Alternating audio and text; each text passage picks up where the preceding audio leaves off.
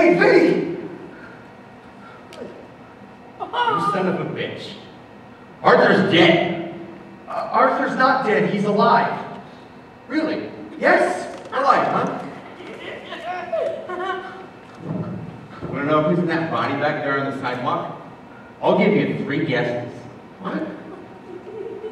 No. Look, I, I let him go, he was alive. Well, he's dead now. I, I let him go, I, I didn't kill him. Well, now he's dead. It looks like he ran into the street and a car hit him.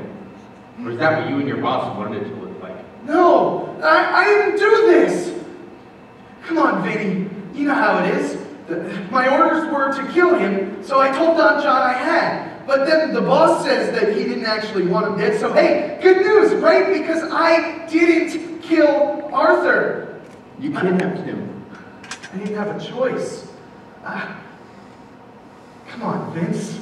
I, I, I didn't do this. The, the kid's had a mark on his back since he was born, and now the boss is trying to cover his ass.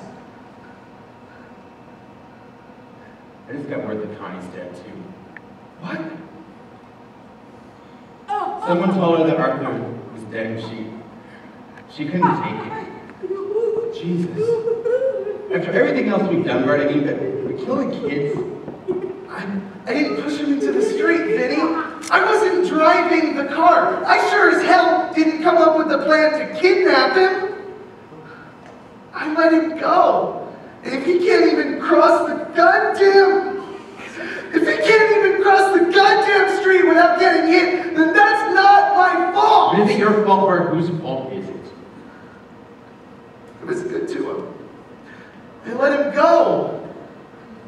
I knew he'd find some way to screw it. I'm, I'm sorry he's dead. He was a he was a good kid. God help